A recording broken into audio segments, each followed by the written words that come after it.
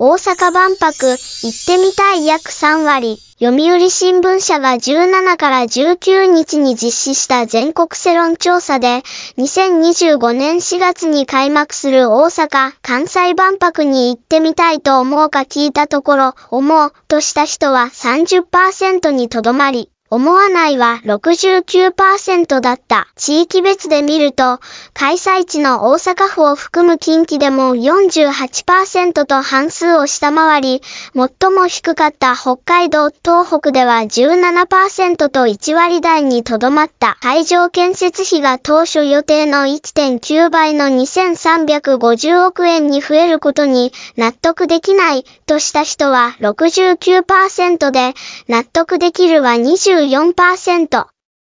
誘致を主導した日本維新の会の支持層でも納得できないは6割に上った。個人的には生きている間に開催されるなら行ってみたいになるかな。皆さんはどう思いますか？ぜひコメント欄で教えてください。このニュースが気になった人はチャンネル登録、高評価。今後の動画を見逃さないためにもチャンネル通知をオンにしてくださいね。